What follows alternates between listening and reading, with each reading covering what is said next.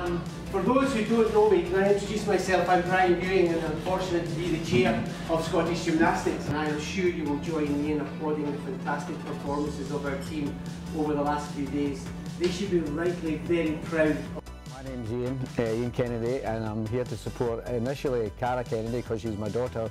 I'm here to support every gymnast in the Scottish team. It's been wonderful, it's been a great atmosphere, it's been really good to watch all the athletes after all their hard work and um, the support has also been great, we've had a great time so far. Well, uh, just uh, so proud, as I said, we've been involved with Cara in gymnastics for 18 years uh, to do as well as she's done on a third occasion here really has topped a lot, it's fabulous. I'd just like to thank Scottish Gymnastics because as you can imagine the journey from a wee girl starting gymna gymnastics 18 years ago to where we are today has had its ups and downs but it's been terrific to get support for Scottish Gymnastics along the way. My name is Wendy Purdy. I'm Shannon Archer's mum. Really proud of Shannon and what she's achieved. The support from Scottish Gymnastics has been great. You know, it really got them together as a team. Um, so it got them into that mindset of what the games was all about right from the word go. Um, it's been a kind of up and down, obviously, for the girls' team with it being so late in a full selection. Um, but the support that Scottish Gymnastics gave the girls when they were all selected and getting them together to really work as a team has been fantastic. Um, I have been hosted by the Carter family, um, so I came down, they've looked after me very well, and we've had a look around the city.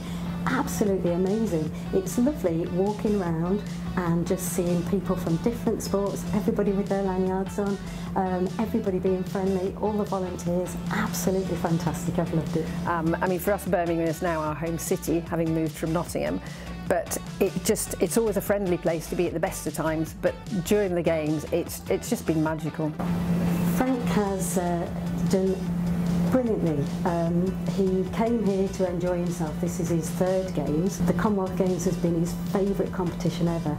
And he just thought, um, do you know what, I'd like to have one more shot at it. And here he is. And to watch him having come back from retirement to get right up to where he is now, um, that is such an achievement. Um, well, Hamish, probably as you know, is just back from a full um, NCAA season.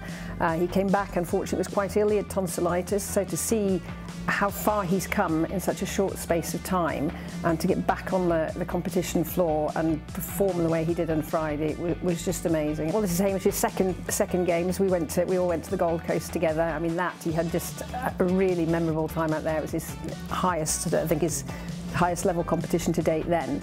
So to come back and get a shot at a second games in Birmingham for him is just, it's fabulous. And for me, um, being the Scot in the family, to see him in a kilt for se the second time and know that in my hometown of Hawick that everybody's cheering him on as well, it, it just makes it really special. We felt as parents, we felt part of the part of the whole the whole family, and I was a bit concerned when Hamish went to the States for four years, but um, Jamie Bowie's been fantastic. He's kept in touch with Hamish regularly. Um, you know, they've, they've taken into account the competitions he was doing over there and put those towards qualifying. The level of understanding that they've had for what he's doing and the support that they've given him on his journey in the States and then welcomed him back home. It's, it's been fantastic. I, I don't think we could have done it without them.